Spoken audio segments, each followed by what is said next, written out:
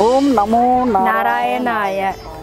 நாம் இப்போ ஜல நாராயணன் அவரை பார்க்கறதுக்காக வந்திருக்கோம். அவர் பாருங்க அவர் தான் ஜல நாராயணன் ஆக்சுவலாக இந்த கோவில் வந்து புட நீல்கண்டா இல்லைன்னா ஜல நாராயணா அப்படின்னு சொல்லுவாங்க. இந்த குளத்தோட சைஸ் வந்து அஞ்சு மீட்டர் நீளமும் பதிமூணு மீட்டர் அகலமும் இருக்கிறதா இருக்கு. இங்கே விஷ்ணு மகாவிஷ்ணுவுடைய கையில் சுதர்சன சக்கரமும் ஒரு கையில் சங்கும் இருக்குது இது வந்து எப்படி அப்படின்னா மாணிக்கக்கல் இதில் பறி பொறிக்கப்பட்டிருக்கிறதாக சொல்லப்படுகிறது. ஆமாம் இந்த கோயிலுக்கு பார்த்தீங்கன்னா கூரை கிடையாது திறந்த வழியில இருக்கு. அஹ், நம்ம ஊர்ல திருச்சியில் ஒரு கோயில் இருக்குல்லக்கா வெக்காளியம்மன் வெக்காளியம்மன் கோயிலுக்கு எப்படி கூரை இல்லையோ அதே மாதிரி இந்த விஷ்ணுக்கும் ஜலநாராயணனுக்கும் கூரை கிடையாது. திறந்த வெளியில இந்த பெருமாள் இங்க அது மட்டும் இல்லை விஷ்ணுவுடைய தலையில் வந்து விக்கிரகம் அதாவது கிரீடம். இருக்கு.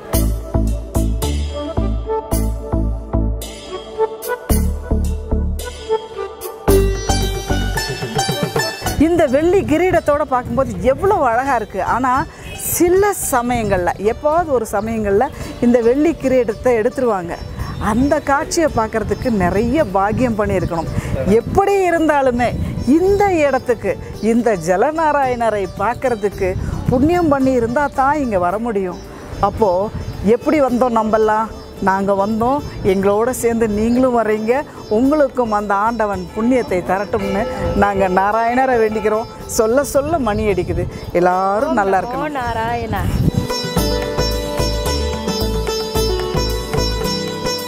இன்னொரு விஷயம் என்னென்னா நம்ம எல்லாருமே எப்பவுமே ருத்ராட்சம்னாலே நம்ம எல்லாருக்குமே ஒரு மயக்கம் இருக்குது இல்லையா? அந்த ருத்ராட்சம் எப்படி இருக்கும்? எந்த மாதிரி இருக்கும்? எங்கிருந்து வரும்ன்ற சந்தேகமெல்லாம் இருக்குல்ல? இன்றைக்கி அந்த சந்தேகம் உங்கள் எல்லாருக்கும் போக்கிடுறோம். இங்கே பாருங்கள் நான் கை காட்டுற இடம் தான் ருத்ராட்ச மரம். அதை பாருங்கள் இது. இதான் இந்த மரம் இருக்குது பார்த்தீங்களா அதுதான். அதுதான் ருத்ராட்ச மரம். அது வந்து காய் காஞ்சு அதை அவ வெடிக்கும்னு நினைக்கிறேன். வெடிக்கும் பொழுது காய் மாதிரி இருக்கும். ஆமா. அந்த காயை வந்து உடைச்சோம்னா உள்ள வந்து அந்த ஒரு உத்ராட்சத்தோட ஆமாம் அஞ்சு முகமோ மூணு முகமோ ரெண்டு முகமோ ஆறு முகமோ ஒரு வித்தியாசம். ஒரே ஒரு வித்தியாசம் என்னன்னா எங்கேயுமே கிடைக்காத ஒரு ருத்ராட்சம் இந்த இடத்துல கிடைக்கும். நம்ம ஊர்ல எல்லாம் நம்ம நாட்டில் எங்கேயுமே எந்த இடத்துக்கு போனாலும் சரி தாமரை எங்க? தாமரை தண்ணீரில் தான் மலரும். ஆனால் இங்கே தாமரை வந்து மரத்தில் இந்த நேபாளத்தில் இதோ இந்த மரத்தில் கமல ருத்ராட்சம் வருதுங்க. அதாவது சு தாமரை தாமரைக்கு நடுவில் ருத்ராட்சம். அப்போ என்ன அர்த்தம்னா ஹரியும் சிவனும் ஒன்று அப்படிங்கிற அர்த்தம் தான் இங்கே தெரியுது. இந்த ஒரு ஊரில் தான் வந்து அது கிடைக்கிது.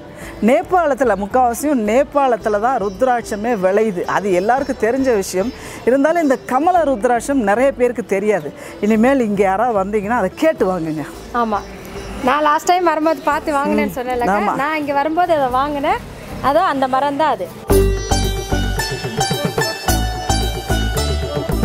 இந்த கோவிலை பற்றி நிறைய விஷயங்கள் சொல்கிறாங்க அதில் குறிப்பாக நம்மளுக்கு தெரிஞ்ச ஒரு விஷயம் என்னன்னா ஒரு ஒரு காலகட்டங்களுக்கு முன்னாடி இந்த சிலையில் இருக்கிற ஒரு சின்ன கல்லை உடைச்சி ஆராய்ச்சி செஞ்சு பா பார்த்தபோது அது சிலிக்கான் கல் அப்படின்னு சொன்னாங்க. அதுக்கப்புறம் என்ன சொன்னாங்கன்னா எரிமலையில் வெடித்து சிதறிய லாவா கற்களை சார்ந்தது அப்படின்னும் சொன்னாங்க. அதுக்கப்புறம் என்ன நடந்தது அப்படின்னா ரொம்ப அதிசயமாக இருக்கும். ஆயிரத்தி தொள்ளாயிரத்தி ஐம்பத்தி ஏழாவது வருஷத்தில் மறுபடியும் அதை ஆராய்ச்சி செய்த போது இது வந்து சிலிக்கான் கல்லும் கிடையாது. லாவா கல்லும் கிடையாதுன்னு அவங்க செஞ்ச ஆராய்ச்சியே தோல்வியில் முடிஞ்சிருச்சுங்க. கன்ஃபியூஸ் ஆயிடுச்சு. ஆமாம் அதுக்கப்புறமா யாருமே வந்து அத அறிவியலுக்கு சயின்ஸுக்கு வந்து அனுப்பல. இந்த ஊர் மக்கள் வந்து அதை ஒத்துக்கல. அது வந்து கடவுள் கல்லு அது அப்படியே இருக்கட்டும் யாரும் ஆராய்ச்சி பண்ணி அதோட புனித தன்மத்தை வந்து ஆமா. கெடுக்க கூடாது அப்படின்னு சொல்லி பேன் பண்ணிட்டாங்க. அதுக்கப்புறமா இந்த பெருமாள் அப்படியே இருக்கார். அப்படியே இருக்கார்.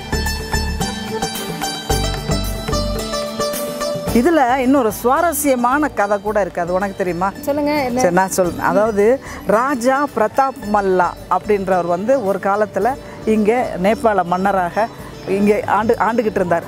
அவருக்கு என்ன நடந்தது அப்படின்னா தூங்கிட்டு இருக்கும்போது வெடி காலையில் ஒரு கனவு வந்தது. அதாவது அந்த கனவு என்னன்னா உங்கள் வம்சத்தை சேர்ந்தவங்க அதாவது இந்த மல்லா வம்சத்தை சேர்ந்த மக்களாகட்டும் ராஜா மன்னர் வகைகளாகட்டும் யாருமே இங்கே வரக்கூடாது. இங்கே வந்தால் அவங்க வந்து உயிரோடு இருக்க மாட்டாங்க அப்படின்ற மாதிரி ஒரு கனவுல வந்துச்சான் அதனால் அவர் என்ன பண்ணிட்டாருன்னா அப்போவே ராஜவம்சத்தில் வர்ற இந்த மல்லா வம்சத்தினர் வந்து இங்கே வரமாட்டாங்க அப்படின்னு எழுதியிருக்காங்க. அன்னையிலிருந்து இன்னைக்கு வரைக்கும் அதுதான் நடந்துக்கிட்டு இருக்கு. ஆமா இந்த அதுவரை எந்த ராஜா வரலையா ஆ, அதுக்கப்புறம் வந்து அவருடைய கனவுல வந்ததுக்கப்புறம் இது வரைக்கும் எந்த அந்த மல்லா வம்சத்தினர் மல்லா ராஜவம்சத்தினர் யாரும் இங்கே வர்றதில்லை. இங்கே வந்து எப்பெல்லாம் விழா நடக்கும் அப்படின்னா வருஷத்தில் கார்த்திகை மாதம் வருது பாருங்களேன். கார்த்திகை மாதம் பதினொன்றாவது நாள் ஹரிபோதினி ஏகாதசி அப்படின்ற ஒரு விழா வந்து இங்கே பெரிய அளவில் கொண்டாடுவாங்க. அப்போ வந்து லட்சக்கணக்கான பக்தர்கள் இங்கே வந்து இந்த நாராயணரை தரிசனம் செய்வாங்கன்னு சொல்கிறாங்க ஆமா உலக பிரசித்தி பெற்ற திருவிழான்னு நினைக்கிறாரு. ஆமாம் இந்த கோவில் வந்து ஏழாம் நூற்றாண்டில் கட்டப்பட்டதுன்னு சொல்கிறாங்க அது அப்படியே வந்துக்கிட்டே இருக்கும்போது ஆயிரத்தி முந்நூற்றி நாற்பத்தி ஒன்பதாவது வருஷம் அதாவது பதிமூணு அல்லது பதினாலாம் நூற்றாண்டில் ஒரு விஷயம் நடந்தது. அது என்ன அப்படின்னா முஸ்லீம்கள் இருக்காங்க இல்லையா? அவங்க வந்து இந்த இந்துக்கள் ஹிந்துக்கள் வந்து நம்ம முன்னாடியே வந்துட்டோம் அப்படின்ற அந்த சாட்சியத்தை வந்து மறைக்கணுன்றதுக்காக என்ன பண்ணாங்கன்னா இங்கே இருக்கக்கூடிய ரொம்ப மிக புராதனமான பழமை வாய்ந்த கோவில்களுக்கெல்லாம் என்ன பண்ணாங்கன்னா இடிச்சிட்டாங்க. ஆனால் இந்த மக்கள் என்ன பண்ணாங்க அப்படின்னா இந்த நாராயணர் வந்து பூமிக்குள்ளே இருக்கிறதுனால என்ன பண்ணாங்க? உடனே அவங்க அவங்களுக்கெல்லாம் தெரியாமல் மேலே அப்படியே இது மண்ணை போட்டு மூடி வச்சுட்டாங்க. மூடி வச்சதுனால இந்த நாராயணரை வந்து ஒன்றும் அவங்களால பண்ண முடியல. அதுக்கப்புறம் இங்கே பயங்கர குளிர் ஏதோ இந்த இந்த சீதோஷ்ண நிலை தாங்காமல் அவங்க இங்கேருந்து போயிட்டாங்க. இவங்கெல்லாம் போயிட்டாங்கன்னு உறுதி செஞ்சதுக்கு அப்புறம் பதினாறாம் நூற்றாண்டு. பதினாறாம் நூற்றாண்டில் இந்த மக்கள் இங்கே இருக்கிற மக்கள் அந்த மண்ணை எல்லாம் தோண்டி ஜலநாராயணரை மீண்டும் புதுப்பிச்சாங்க கொண்டு வந்தாங்க. அதுதான் எங்களுக்கு தெரிஞ்ச கதை. இதில் ஏதாவது சின்ன சின்ன தவறுகள் இருந்தால் தயவு செஞ்சு மன்னிக்கணும். இல்ல தவறு இருக்க வாய்ப்பு இல்ல.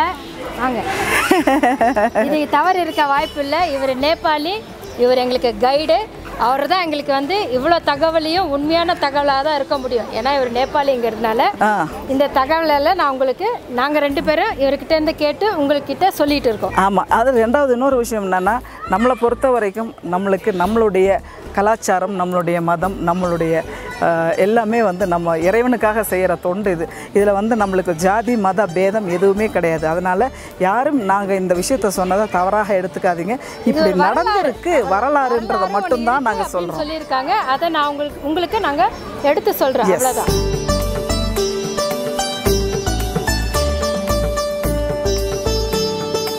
அந்த மலையை பார்த்தீங்கல்ல என்ன தெரிஞ்சது?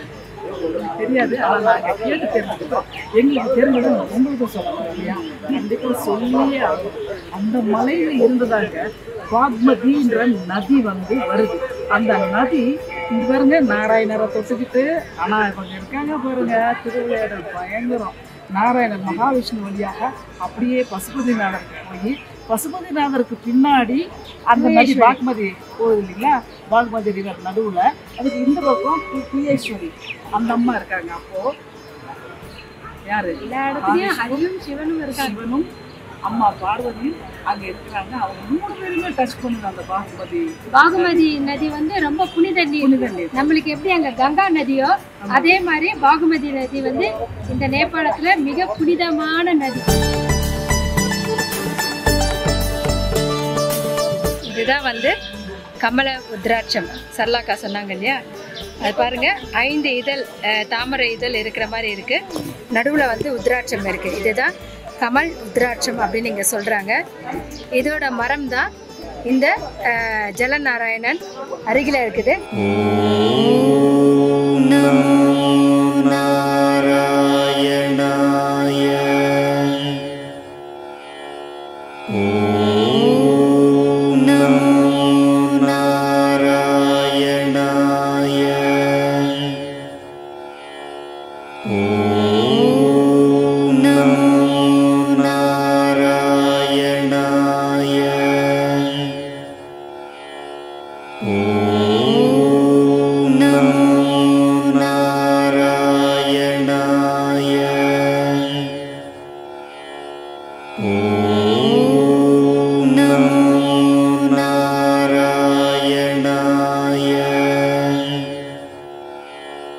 நாராயணாய